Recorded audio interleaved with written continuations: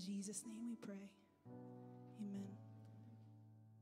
My name is Iris George, and I work with Amigos for Christ. Amigos for Christ is a nonprofit organization. We're based out of Buford, Georgia, and we're also based in Chinandega, Nicaragua.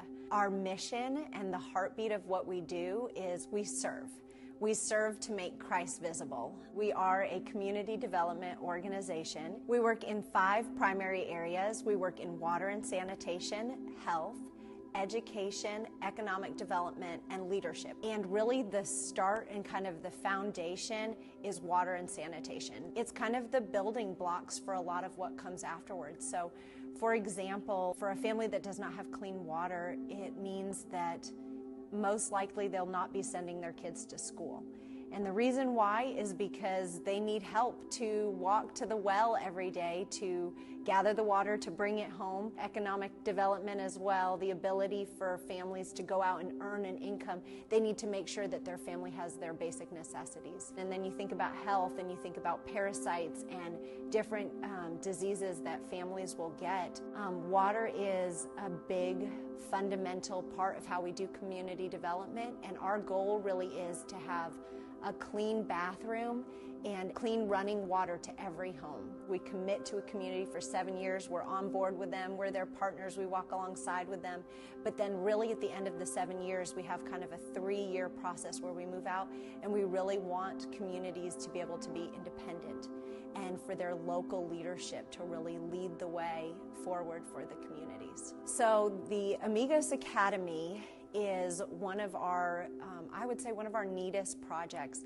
It is a private school in rural Nicaragua, and it really is offering students the opportunity for an excellent education and an innovative ed- education and just something that is really not seen in the area. So the academy is really where we're wanting LifePoint to be involved. The Academy has recently started a scholarship program which allows um, anyone that is wanting to help a child walk through their, their years at the primary school, they can get involved with a scholarship program and, um, and really have an ongoing relationship with a child. I know you guys recently had a trip down there, and um, I know you guys had people from your church that were able to spend time with the kids down there and do some arts and crafts. Those of you that have been down there, um, or that are possibly thinking about going down there in the future, you're going to get the opportunity to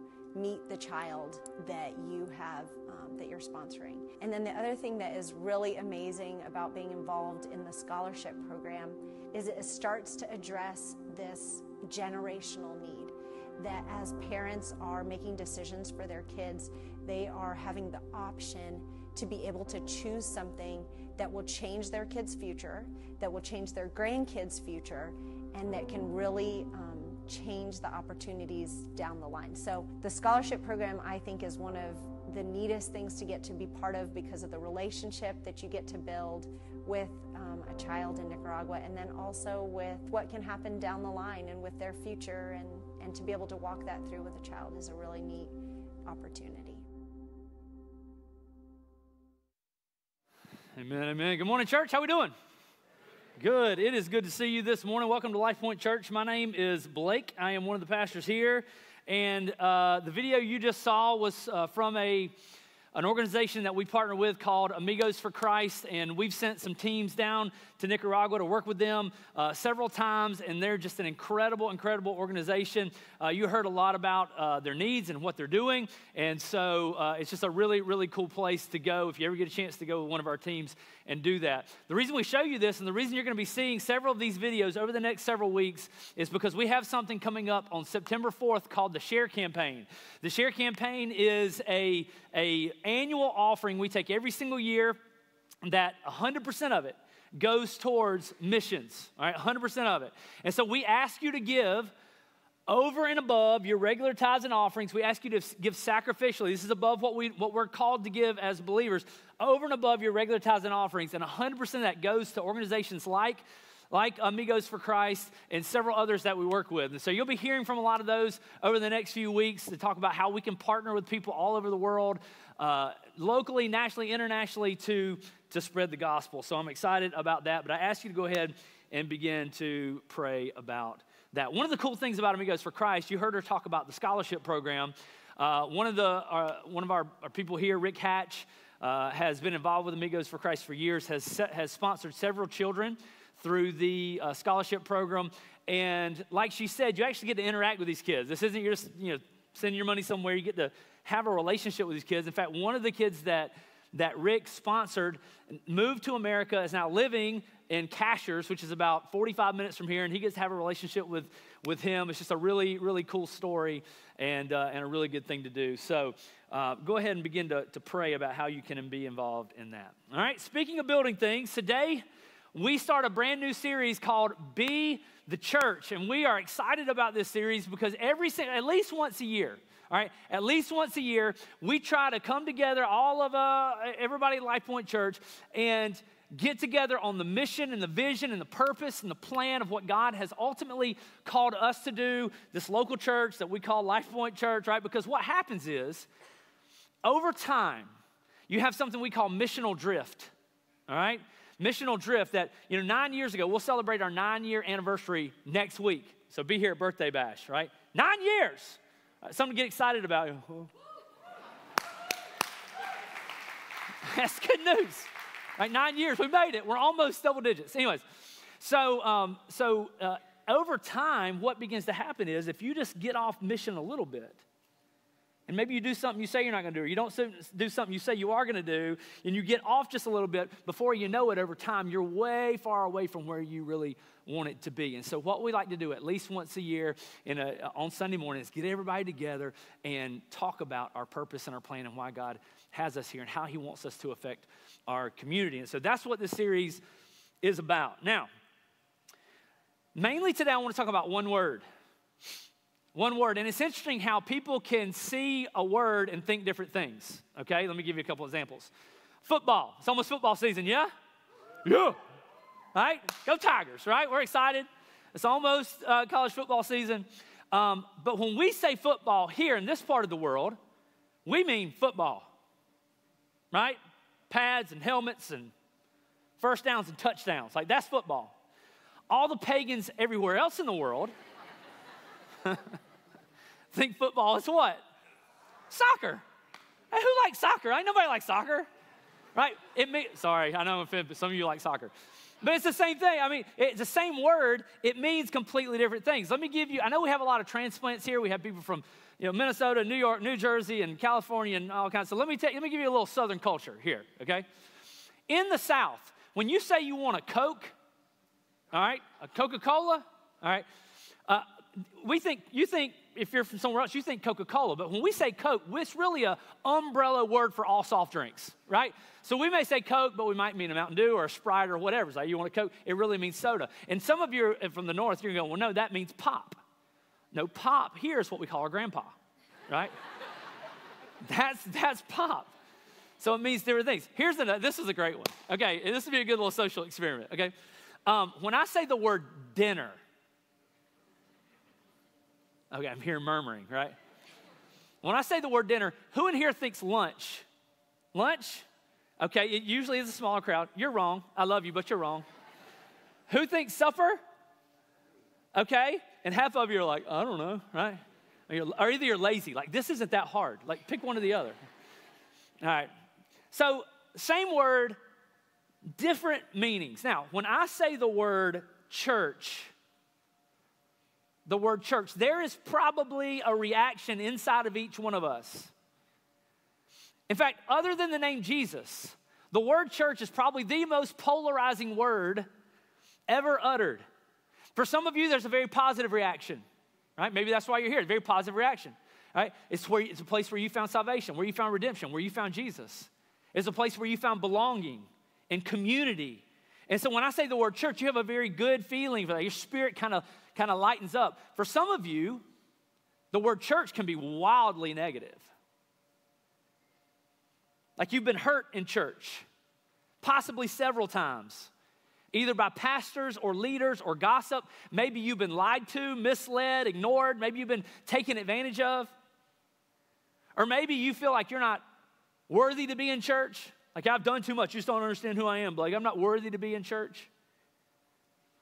But not only this, do we have a certain feeling when we hear the word church, there's lots of ideas about what church is.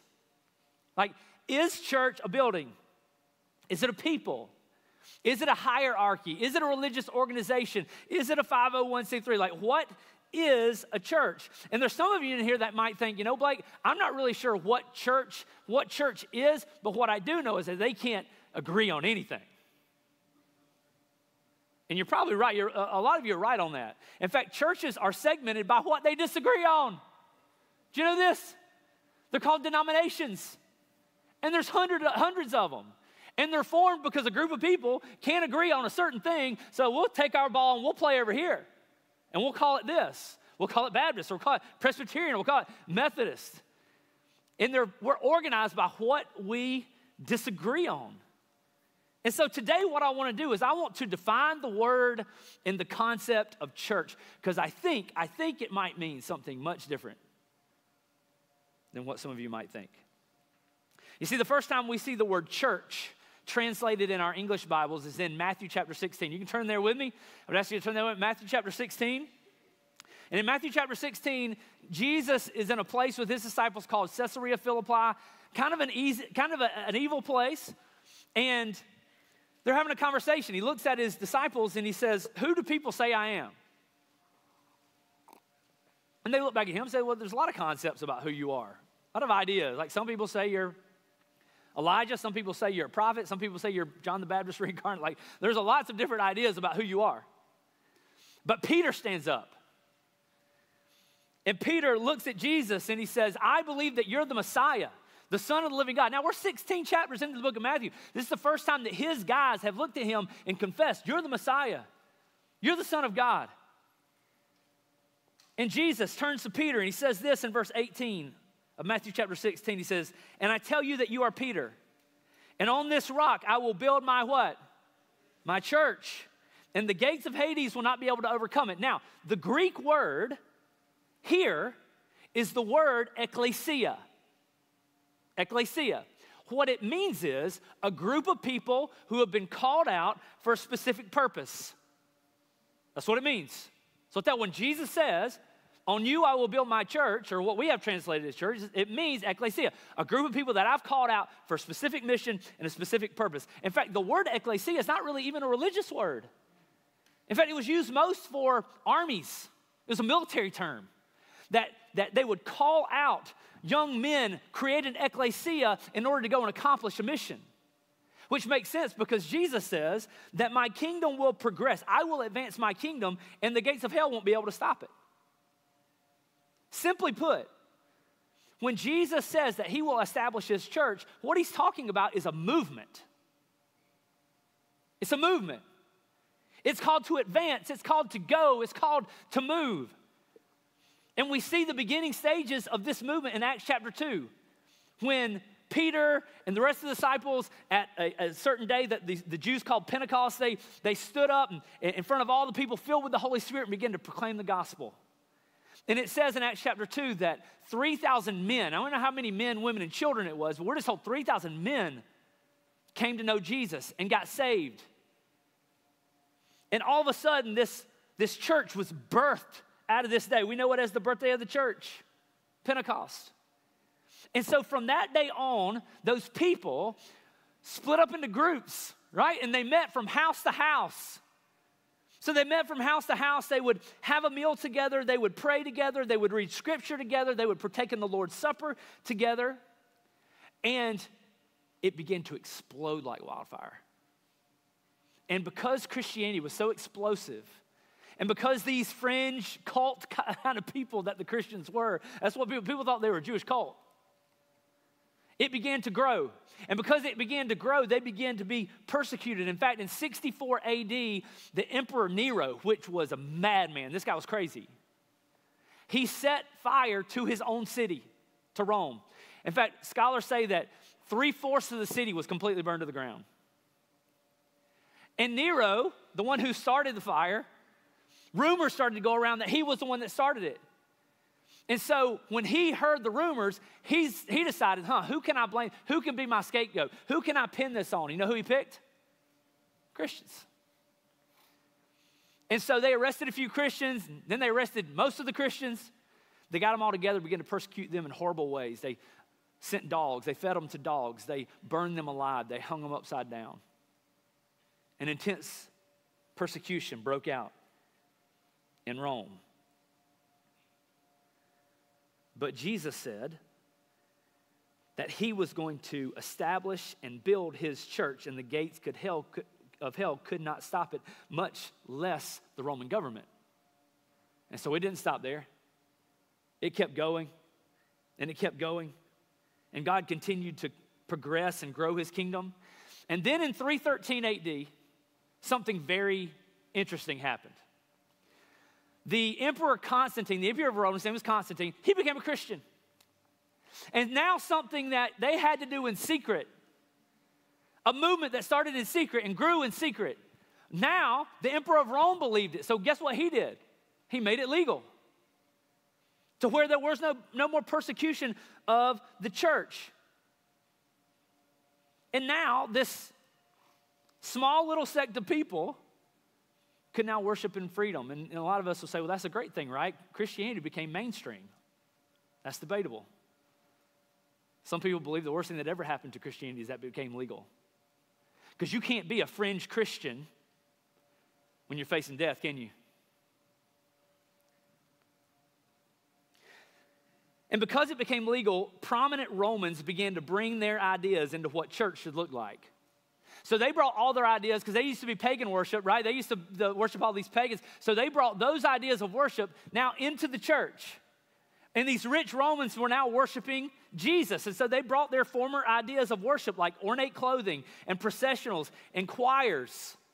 Like those things aren't inherently Christian, those things were cultural in their day. They just brought them into their worship. And they begin to build big places for people to come and gather called basilicas. And as the gospel progressed, guess what they did? They built more basilicas and they built more houses of worship and they became these big architectural spectacles that were just unbelievable. And there's nothing necessarily wrong with that. These people wanted to build something beautiful out of their love for God. There wasn't necessarily inherently wrong with that. But here's what happened about 1000 AD, a German word begins to appear in literature describing these buildings. It was the word Kirche or Kirche, which should look familiar because it's where we get our English word what? Church. Kirche actually means house of the Lord. So our word church actually means house of the Lord.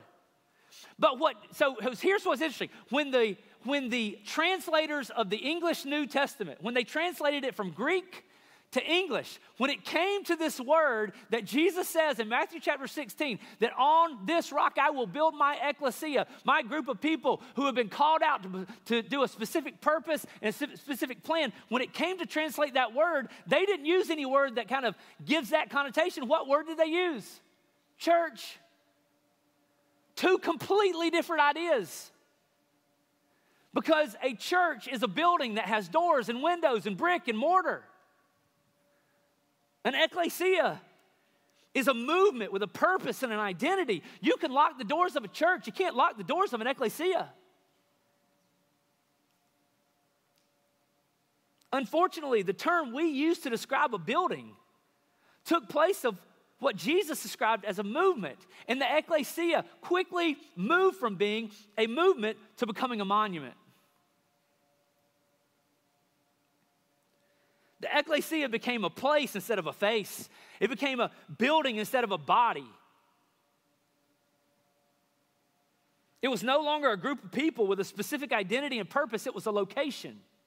And I would say that every argument that the church has had over the last 30, 50, 100 years about pews and chairs or carpet or contemporary music or traditional music has been born out of the fact that the ecclesia has gone from being a movement to a monument.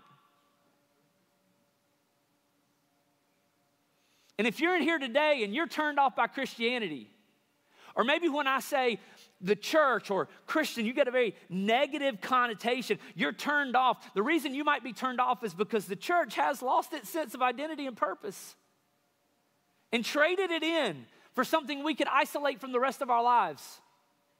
I can now go to church and go home, be whoever I want to be. I can isolate my place from what I, myself from what I call the church because it's easy to isolate myself from a building. I can go to a building and leave. Like, praise God, after I leave Walmart, I can forget about Walmart. right? Nobody wants to, I mean, you want to leave Walmart. In fact, praise God for Dollar General, right? And cut off all roads to Walmart. It's incredible. I don't have to go to Walmart anymore. Because I can isolate myself from a building, I can separate myself from a facility. I can't separate myself from being called out.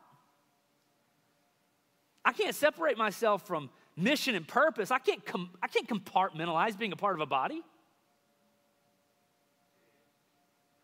Jesus taught that true believers should affect their community. Look at how many t- times Jesus said, Give to the poor, take care of orphans, take care of widows.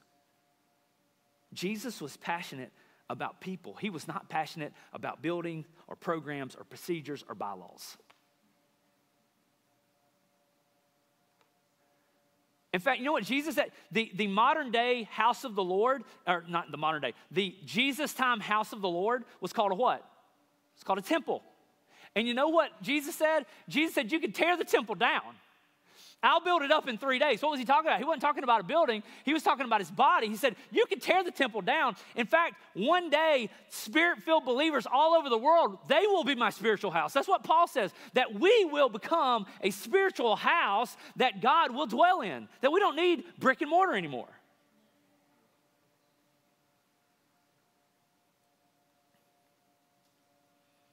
Believe it or not, the spread of the gospel to the ends of the earth will have very little to do with buildings and programs and pastors. But churches have fallen into this mindset that if we're going to change the community, it's going to happen here. We got to get people here. And if it's going to happen here, then we need to have the best programs, the best music, the best facilities, the best pastors, the best speakers. But when you look at the early church and you look at where gospel, the gospel spreading all over the world, they don't have any of these bells and whistles. It's the people of God and the Word of God. And that is all we need. Now, don't get me wrong. I don't mind facilities. Facilities are not inherently bad. Programs are not inherently bad. Good music is not bad. Praise the Lord, right? Like those things are good. We should do them excellently because we do them to the glory of God. But if we work to maintain those things, all the while ignoring the true need outside the walls of the church, then we have failed as the church. So, what does it mean to be the ecclesia? Three aspects of the ecclesia. All right.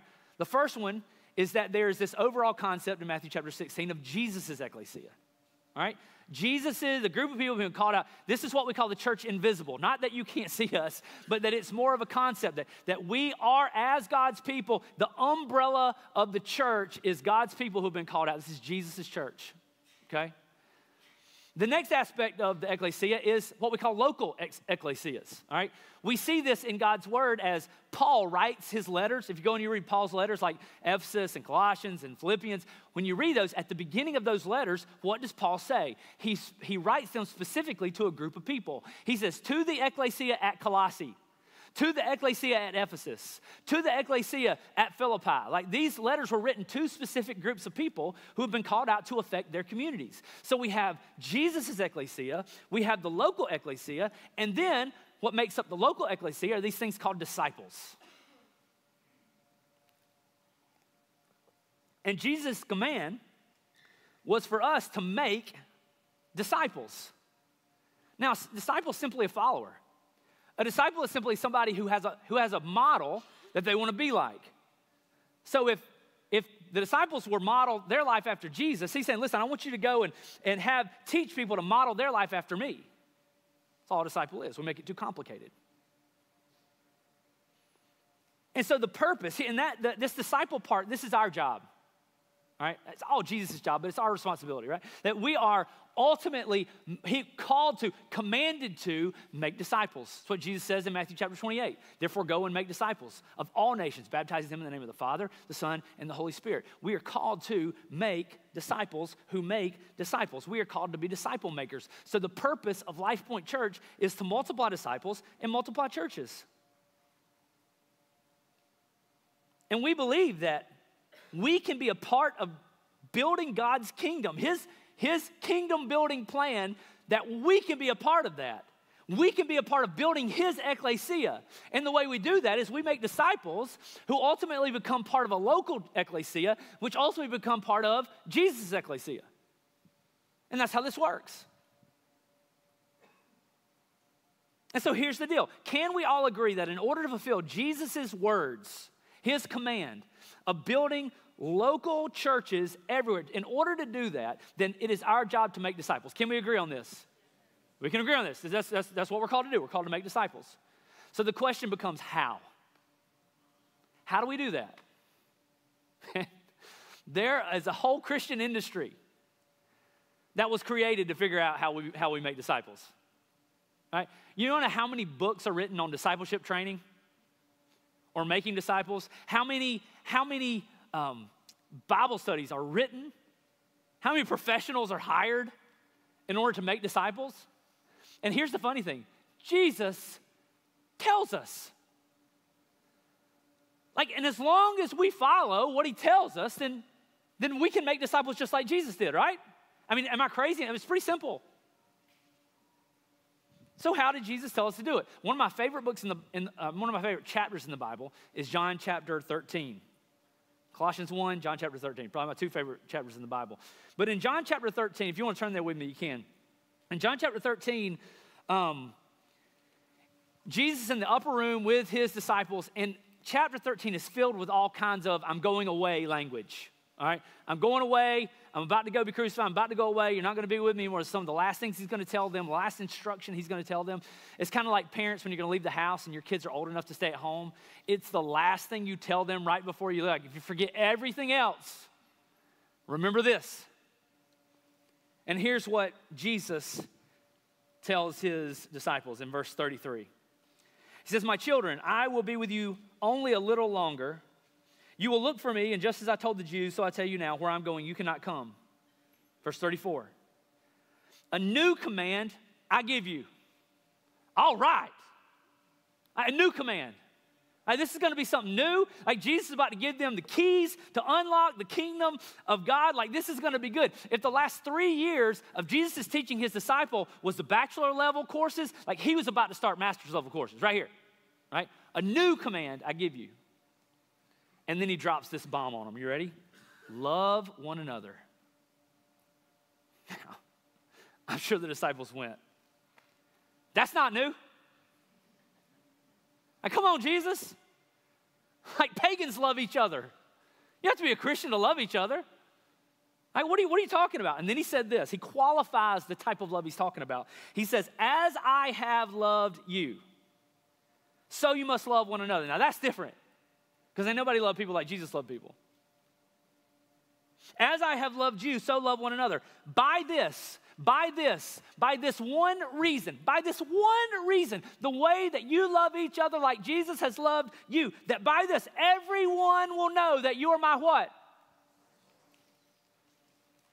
That everyone will know by the way you love each other, that it is the distinguishing factor between you and the rest of the world, how you love each other.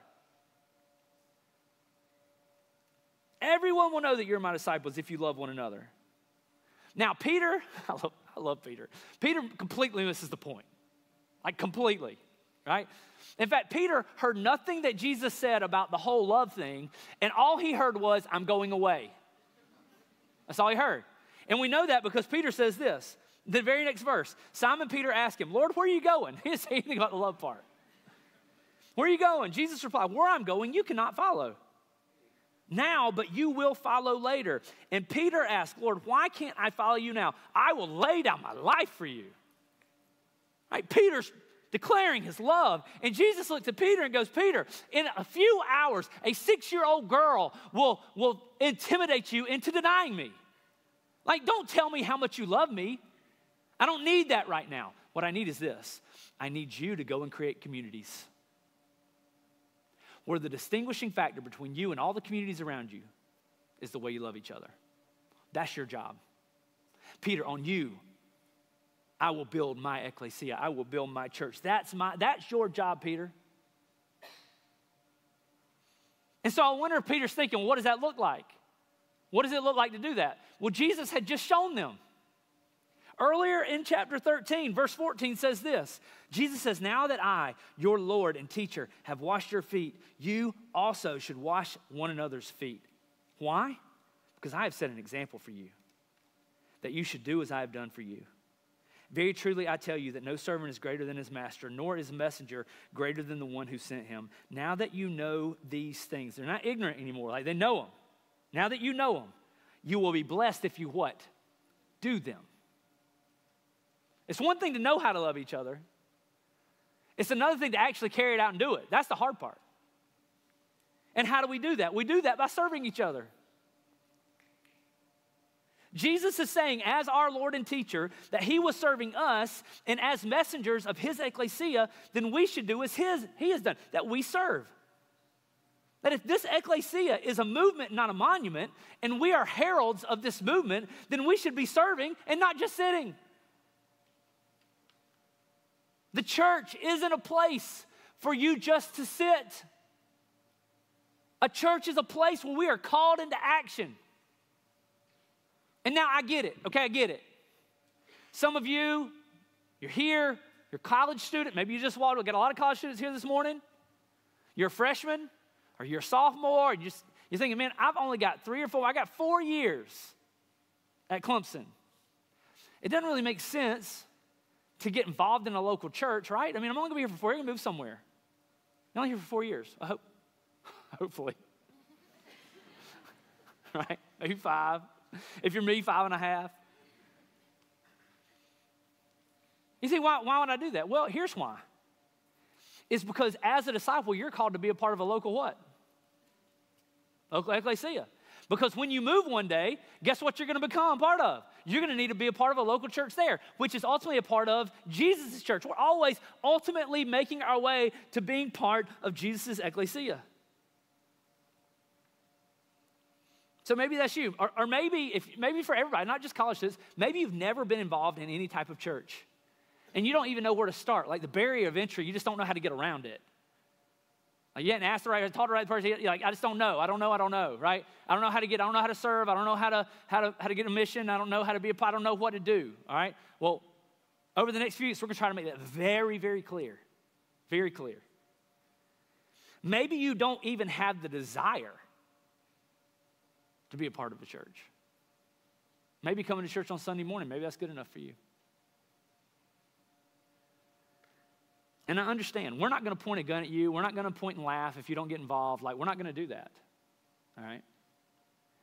But my prayer, and I'm praying for you, each one of you, over the course of this week, that you would become increasingly uncomfortable simply sitting and not serving.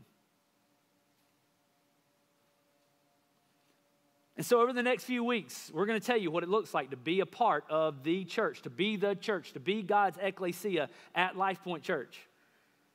And we're not going to force you to do anything. We're going to be very clear about how you can get active.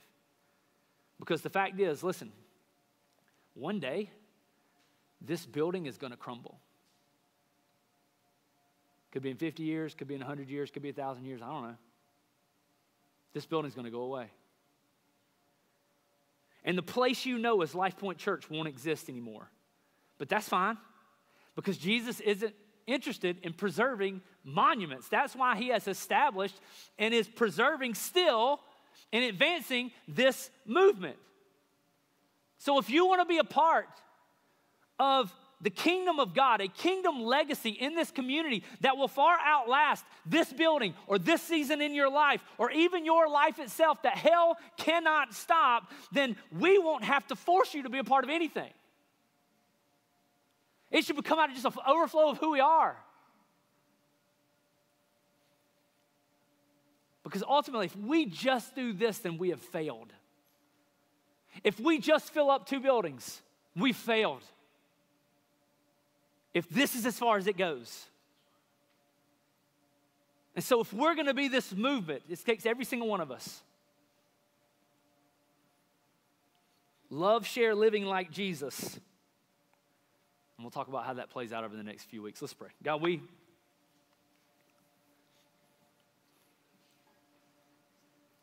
God, we thank you that we have a story worth telling. We have a model worth modeling.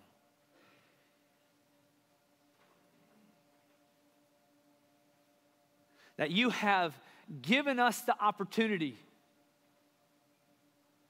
to be a part of something bigger than ourselves.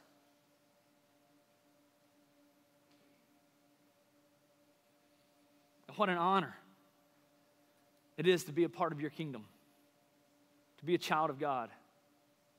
God, let us not settle for crumbs that fall from your table, but allow us, God, to understand that you have called us to feast at it. And if we come in here and just sit, Lord, if we come in here and just sit, then we're settling for crumbs. It'll allow us to show the good, to, to, to be shown the goodness of God, and then in turn show it to other people. To love as you have loved us. Allow us to do that. In Jesus' name, amen. Now, one of the things that we are called to do as a church together is take what's called the Lord's Supper or communion. And so there's a couple of things about communion. Communion, uh, there's two aspects, aspects of it. There's the bread, which represents the body of Christ. In fact, in John chapter 13, the same chapter we were reading from a while ago, Jesus took the bread and he broke it and he says, This is my body that's been broken for you. And then he took the wine or the, we have juice, you know, because just don't do wine anymore for some reason. Anyways. And it, it represents the blood of Jesus. And it's like what, what Paul told us in, in 1 Corinthians chapter 5, verse 21, where he says that, that, that God has, that, that Jesus has been made a sin offering for us, and so he has gotten our sin and we have received his righteousness. That when we trust in his broken body and his blood that was shed, that it covers our sin, so that when God sees us, what he sees is perfection, he sees righteousness. And that sin comes with punishment. And when Jesus was crucified on the cross, that he took the punishment for my sin. So I become a child of God, and my sin was punished on Jesus. And so when I take communion, I am bringing that into my body. It is becoming part of me. His body, his blood is, is applied to me. And so there's a couple of things I'd ask you to do. If you're in here this morning and you're not a believer, not a Christian. We're not going to point at you. We're not going to laugh. Here, here's what I'd ask you to do simply don't partake. Because if, if we take this in, this is a very symbolic thing for us, very sacred thing for us. That we don't, we don't commune with the body and the blood of Christ unless we believe in the body and the blood of Christ. And we don't mean to leave you out. We don't mean for it to be exclusive. It just kind of is. And so if, if we don't ask you to do anything else other than just kind of sit still when we do this. Another thing I'd ask you to do is we want to repent. One of the things we're called to do is repent. Try to purify, to, to, to, to, to confess sins that have not been confessed to the Lord. And that's more for us than for God, because God knows. It's more for us to identify those things that if I'm going to come into communion with God, I don't want to have these sins in my life. And so I'm going to give you space to do that. In a minute, I'm going to get off stage, and I'm going to give you a few minutes just to sit in silence, just to reflect and to pray. And maybe you've never given your life to Jesus. Maybe you've never put your faith and trust in Jesus. And maybe during that time you want to do that. And maybe this is a birthday for you. This is a spiritual birthday for you. You take communion for the first time with the body, with your brothers and sisters in Christ. But maybe it's time for you, if you're already a believer, to just repent of sins in your life, confess those, Get those out in the open before God and then come and partake in his body and in his blood. But let's be faithful to do it. I'm going I'm going to ask God to bless it And then I'm going to get off the stage. There are five, listen, there are five different places. There are three up here, and there is uh, uh, one on the, the wall over here and one on the wall over here. So I'm going to ask you just to spend a few minutes in prayer. Then you're going to get up. You're going to come to one of the stations, grab the, the bread, grab the juice, go back to your seat, and you can partake of yourself there. It's a personal thing you do between you and God. All right? All right, let's pray. God, we love you. And we thank you for this time together. God, I pray that you will bless this time. If there's somebody in here that needs to confess unconfessed sin to you, like get, get rid of something, God, I pray that we'll use this time to do it.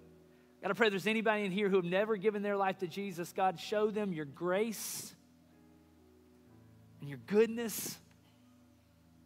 Holy Spirit, open their eyes to the goodness of God in Jesus Christ. I thank you for dying for us. Thank you for sacrificing yourself for us.